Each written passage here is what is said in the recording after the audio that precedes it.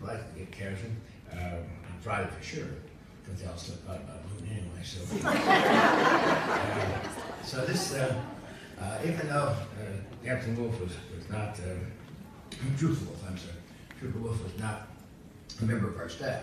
Normally, these catch days, they try to assist somebody in uh, county government who facing a tragic, whatever it might be. Uh, This accident uh, that uh, happened to, to Trooper Wolf, um, it, it was so horrific. And uh, we read about it, watched it, it was in Oakland County, of course, uh, where, where I live, up near Clarkston.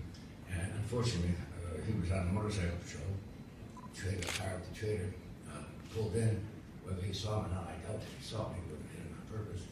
And the trooper got caught up in, in the trailer, was dragged over four miles. You can imagine what a horrific uh, pain he had to endure.